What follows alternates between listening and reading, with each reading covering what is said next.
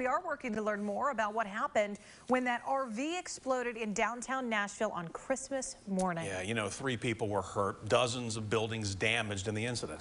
Yesterday, authorities announced 63-year-old Anthony Warner as the man responsible. This is Anthony right here.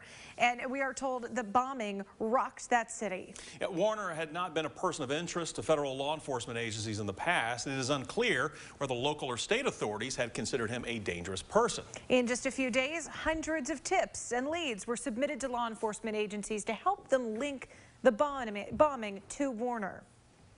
So in terms of uh, first and foremost, the, the calls that came in from the public were absolutely key uh, to the identification, uh, at least with a name of, uh, of a direction for the investigation to take.